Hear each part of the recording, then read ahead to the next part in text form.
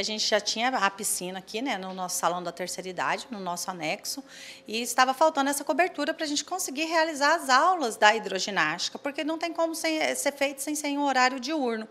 Então, para adequar o horário da piscina às aulas de, de hidroginástica, a gente foi atrás e conseguiu fazer essa cobertura agora. Já é um projeto que nós começamos em dezembro e está sendo concluído agora.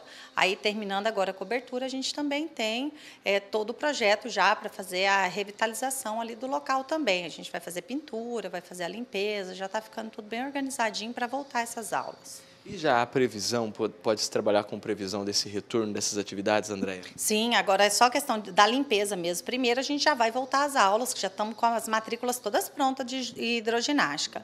Aí depois, conforme for saindo o projeto e as verbas, a gente vai fazendo a, o restante do serviço. Estas turmas de hidroginásticas, elas têm quantos alunos e como que vai ser feita essa divisão?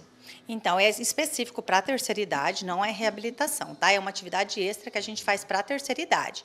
Então, a gente vai ter três turmas feminina e uma masculina, que daí a gente tem a parceria com a Secretaria de Esporte, que cede dois profissionais para vir fazer essas aulas para a gente. E qualquer dúvida, só procurar aqui a Secretaria de Assistência Social, até mesmo para fazer inscrição de cadastro reserva, porque me parece que não tem mais vaga. É, as vagas já foram preenchidas, a gente fez as inscrições, então agora a gente tem o cadastro reserva. Quando alguém não puder vir ou tiver com algum problema de saúde, a gente põe outra pessoa no lugar. Quem quiser pode vir, pode procurar aqui no nosso centro de convivência, a gente está pronto para atender vocês.